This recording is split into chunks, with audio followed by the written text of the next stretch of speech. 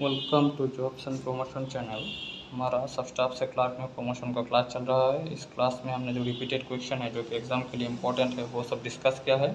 इस एग्ज़ाम के लिए टोटल आठ या नौ टॉपिक्स है, जो कि इम्पोर्टेंट है, जिसमें से क्वेश्चन आते हैं। हम सभी जो टॉपिक है, उसका लेक्चर इस चैनल पर प्रोवाइड कर देंगे। और आपको अगर free classes notes PDF study material चाहिए तो आप लोग चैनल को सब्सक्राइब करके लाइक कमेंट करके आप लोग टेलीग्राम चैनल पे ज्वाइन कीजिए। चलिए शुरू करते हैं आज का class question number one question number one में दिया हुआ है कि फॉर अपडेशन पेन और form 60 details in retail customer ID without visiting CRM module menu option in CBS is इसका मतलब ये है कि अगर आपको पैन कार्ड या फिर फॉर्म 60 किसी भी डिटेल्स को अगर आपको कस्टमर आईडी में अगर आपको अपडेट करना है, लेकिन आपको सीआरएम करना नहीं है। सीआरएम करने के अलावा अगर आपको सीबीएस में आपका पेन को या फॉर्म सिक्सटी को अपडेट करना है तो इसका मेनू ऑप्शन क्या होगा सीबीएस में? इसका मेनू ऑप्शन होगा पेन यू पेन यू होगा इसका मेनू ऑप्शन। ये रिटेल के लिए भी यही होगा और कॉरपोरेट के लिए भी सेम ही होगा। तो इसका मेनू ऑप्शन होगा पेन यू अगर आपको सी करने के अलावा अगर आपको सीबीएस में आपको अगर पैन कार्ड या फॉर्म सिक्सटी अपलोड करना है तो इसका मेनू ऑप्शन होगा पेन यू फिर आते हैं हम question number two.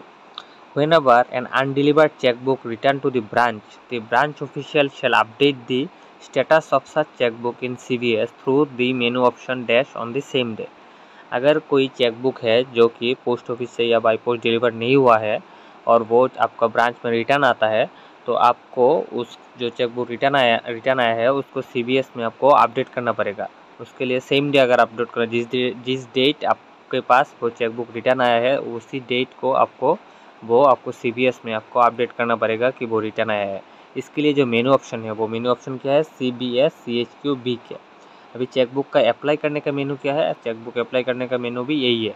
जो C B S C H Q B के है, जो नॉन हम जो वो पर्सनल चेकबुक इशू करते हैं, उसका मेनू भी यही है C B S C H Q B के फिर आते हैं हम क्वेश्चन नंबर थ्री में। Both deposit and borrowal account open using O T P based E K Y C shall not be allowed for more than dash year unless identification process is complete जो हम O T P base E K Y C account को खोलते हैं, जो deposit के लिए हो या फिर बोरवाल के लिए हो, उसका हम अगर आईडी प्रोसेस जो हम लेते हैं, उसके लिए जो पीरियड होता है, वो कितना दिया होता है? एक साल का पीरियड दिया दिया हुआ होता है कि एक साल के अंदर आपको जो आईडी का जो आपका डॉक्यूमेंट्स है, वो आपको कंप्लीट करना पड़ेगा। मतलब जो के डॉक्यूमेंट है या डॉक्यूमेंट आईडी का हो या एड्रेस का वो फुल्ली आपको कंप्लीट करके ब्रांच में जमा देना पड़, जमा करना पड़ता है। आपके अकाउंट में फुल के वाई कंप्लीट करना पड़ता है वन ईयर के अंदर। इसके लिए आपको जो O T P base E K होता है, उसका जो वैलिडिटी होता है आईडी के लिए, वो होता है वन ईयर का। फिर आता है क्वेश्चन नंबर फोर में।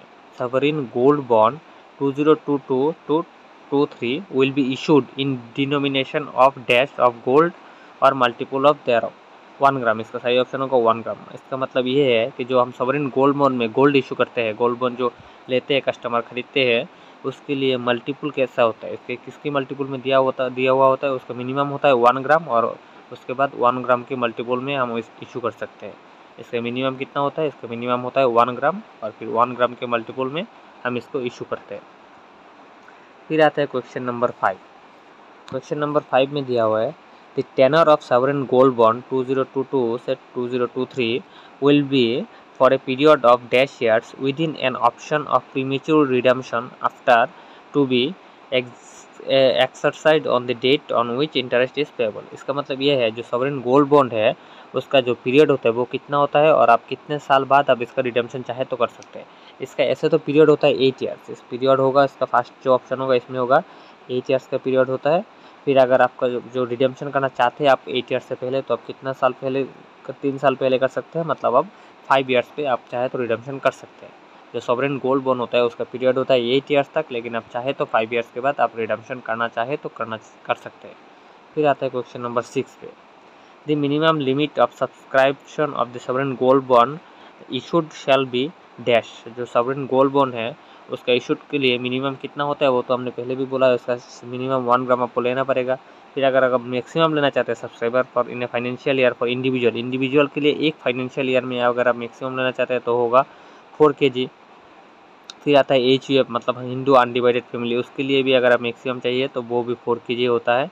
और for trust and similar entities notified by the government time to time और जो ट्रस्ट होता है और सिमिलर एंटिटीज़ होते हैं, उसके लिए मैक्सिमम होगा आपका ट्वेंटी के जी तो इसका एक बार हम समरी देख लेते हैं इसमें क्या बोला है कि अगर आपको मिनिमम लेना है तो मिनिमम लेने के लिए आप वन ग्राम लेना पड़ेगा। अगर आप इंडिविजुअल हो एचयूएफ हो ट्रस्ट हो, कुछ, कोई भी हो, आपका मिनिमम वन के होगा। ठीक है वन ग्राम होगा सॉरी और मैक्सिमम के लिए आप कितना होगा? इंडिविजुअल के लिए होगा फोर के जी एच के लिए भी होगा फोर के जी और आप जो सिमिलर ट्रस्ट हो या एंटिटीज हो, उसके लिए होगा आपका ट्वेंटी के जी ठीक है?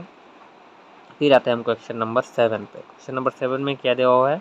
अंडर पब्लिक प्रोविडेंट फंड मतलब पीपीएफ इसका फुल फॉर्म है public provident fund scheme a minimum deposit of rupees dash is required to open and can be deposited up to dash in a financial year जो PPF account है, उसे खोलने के लिए आपको मिनिमम कितना डिपॉजिट करना पड़ता है, उसका मिनिमम डिपॉजिट होता है फाइव हंड्रेड रुपीज़ ठीक है? और इसके मैक्सिमम कितना होता है? One point five lakhs in a financial year तो ये इसका समरी देख लेते क्या है। जो पीपीएफ अकाउंट है, उसका फुल फॉर्म है पब्लिक प्रोविडेंट फंड ठीक है? इसका मिनिमम डिपॉजिट कितना होता है इसका मिनिमम डिपॉजिट होता है फाइव हंड्रेड रुपीज़ और मैक्सिमम कितना होता है होता है in a financial year one point five lakh होता है इसका maximum in a financial year ठीक है, फिर हम आते हैं क्वेश्चन नंबर एट पे।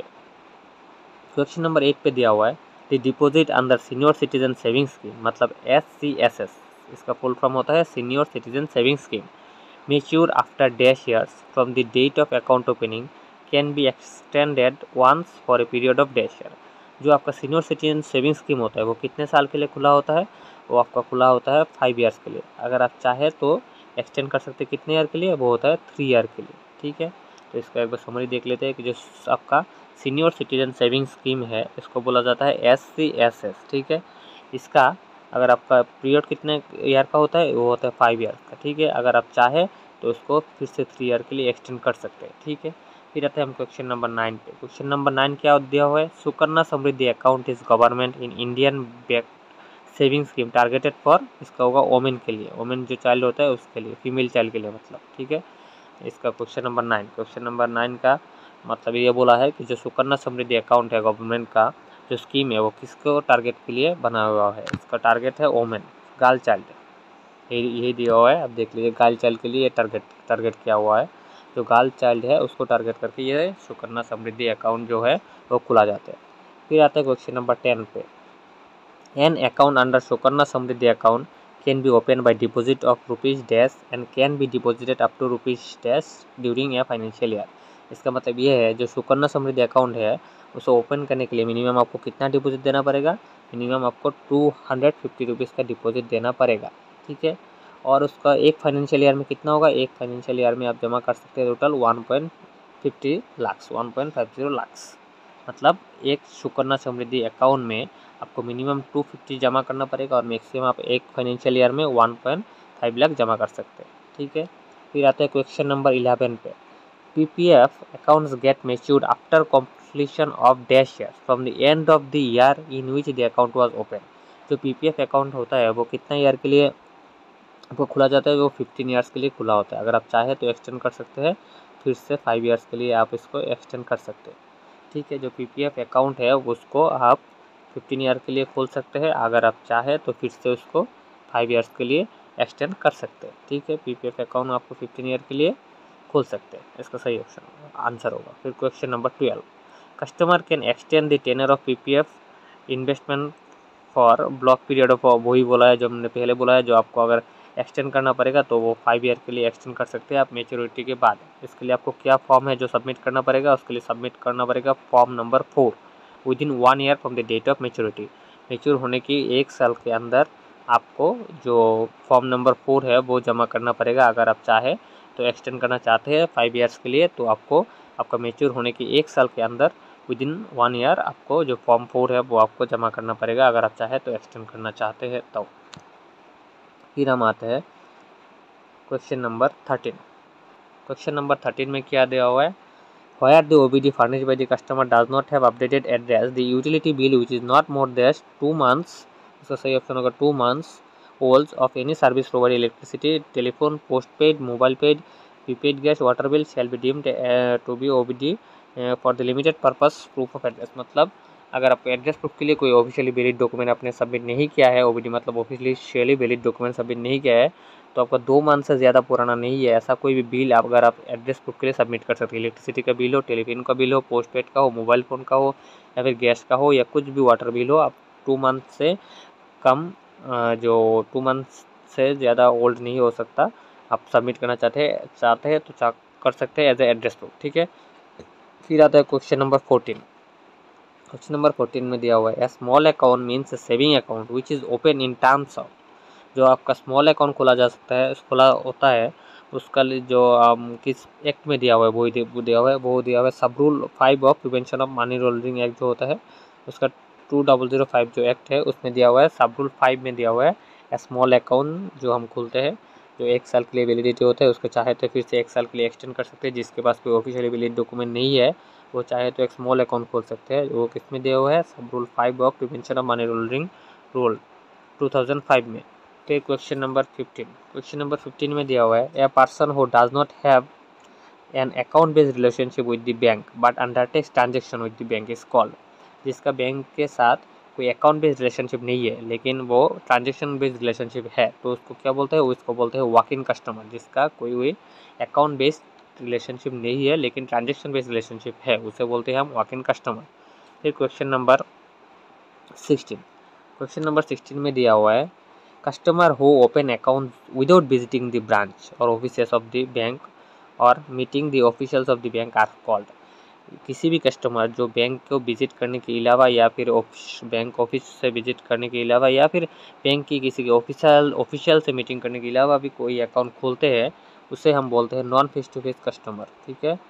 जो कस्टमर विदाउट विजिटिंग ब्रांच या फिर ऑफ़िस या फिर मीटिंग द ऑफिशियल्स आप जो अकाउंट ओपन होता है, उसे बोलते हैं non face to face customer फिर आता है question number seventeen question number seventeen में क्या दिया हुआ है? A bank which is incorporated in a country where it has no physical presence जो ये जब जो भी क्वेश्चन में ये दिया होता है कि नो फ़िज़िकल प्रेजेंस इसका मतलब होता है शेल बैंक शेल बैंक मतलब जो no officially presence in the country ठीक है?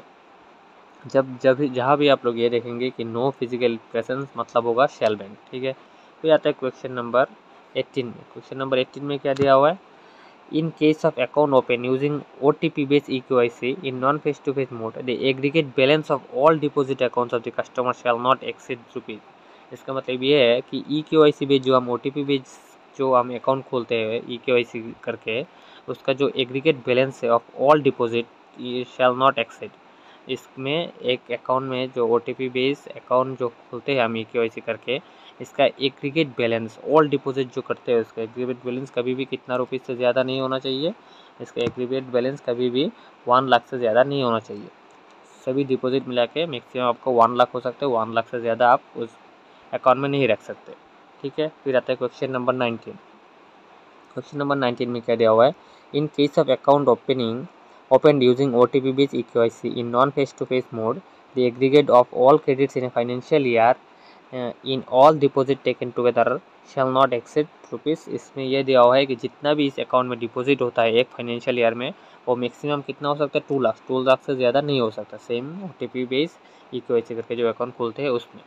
फिर एक लास्ट में N F T R T G S से रिलेटेड क्वेश्चन है। देख लीजिए क्या है question number twenty device charges for outward R T G S for two lakhs to five lakhs will be dash rupees for branch for online जो हम are T G S करते हैं to से फाइव लैक्स के अंदर, उसके लिए जो अगर हम ब्रांच से करते हैं तो इसके लिए कितना चार्जेस होता है? आपको उसका आंसर बताना है। ये आपके लिए होमवर्क है। आप लोग इसका आंसर जो है वो कमेंट में बता दीजिए। चलिए आज के लिए इतना ही। अगले क्लास में मिलेंगे और थोड़ा बीस या पच्चीस क्वेश्चन के साथ।